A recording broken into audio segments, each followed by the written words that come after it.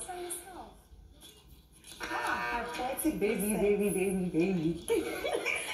Almost, I don't know what to say, but I know you're in a tight spot and it's not a pity, it's a plead.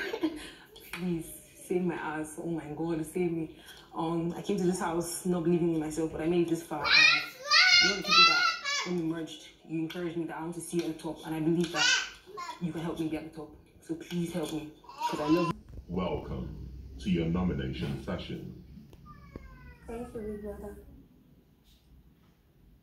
Your fellow housemates have each spent 90 seconds pitching themselves to you. Yes, big brother.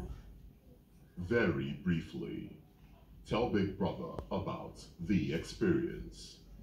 Okay, um, some experience like they, they already had the conclusion that I have someone I, I want to pick, but uh, even though I have someone that I feel like I want to pick, but that doesn't mean I can't make my decisions.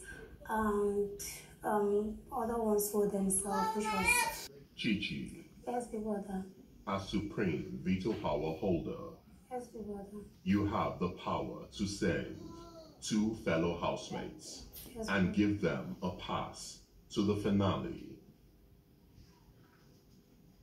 yes, big brother. Please pick the two housemates you have decided to use your supreme veto power to save now. Okay. Daniella and Phyna. Wow! Remove!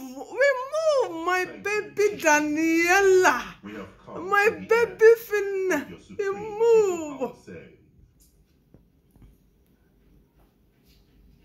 The nomination process is complete.